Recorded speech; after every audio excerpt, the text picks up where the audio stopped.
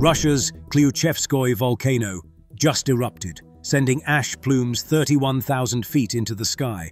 Russia has escalated this eruption to code red, the highest threat level possible, which has severe effects for Russia airspace. The Russian Academy of Sciences reported seeing a powerful glow above the volcano, with hot lava descending the western slope. Satellite data shows ash clouds drifting 141 kilometers east-southeast toward populated areas. KVERT warned explicitly, ash explosions up to 10 kilometers could occur at any time, threatening international and low-flying aircraft. The eruption follows a massive 8.8 magnitude earthquake that struck Kamchatka last week. This makes the situation more serious than a typical volcanic event. Russian volcanologist Alexei Ozerov called this an extremely rare phenomenon that can be described as a parade of volcanic eruptions. The earthquake caused the entire southern Kamchatka Peninsula to shift southeastward, triggering multiple volcanoes. The timing couldn't be worse for international aviation. Kamchatka sits directly under major flight paths connecting Asia and North America. Airlines now face difficult decisions about rerouting thousands of flights. The volcanic ash can destroy jet engines in seconds, making the airspace completely unsafe. Russian emergency services ordered residents in Ust-Kamchatsk and Krutoberegovo to stay indoors immediately. They're distributing protective masks and preparing for heavy ashfall.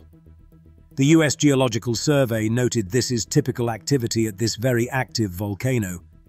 But typical doesn't mean safe when ash reaches airline cruising altitudes. Klyuchevskoy erupts roughly every five years with this intensity. It's produced over 100 recorded eruptions in three centuries. The red aviation alert means immediate flight cancellations across the North Pacific. This affects American carriers flying to Asia and thousands of daily passengers. Russian monitoring teams report lava accumulating in the crater while explosive bursts continue hourly. The ash plume keeps growing larger and more dangerous. No American citizens are currently threatened directly by the eruption, but thousands of Americans fly these routes daily for business and tourism. The earthquake eruption connection raises serious questions about future activity. Multiple volcanoes awakening simultaneously creates unpredictable hazards. Russian authorities haven't requested international assistance yet. They're managing the crisis through their established emergency response systems. American airlines are monitoring the situation closely through the Federal Aviation Administration. Flight crews receive real-time updates about ash cloud movements. The economic impact could reach millions in lost revenue from flight delays alone. Each rerouted trans-Pacific flight costs airlines thousands in extra fuel. Geothermal power plants near the volcano remain operational for now, but continued seismic activity threatens critical infrastructure across Kamchatka. This eruption demonstrates why strong emergency management matters everywhere. Natural disasters don't respect borders or political systems. Russian scientists deserve credit for their rapid response and clear warnings.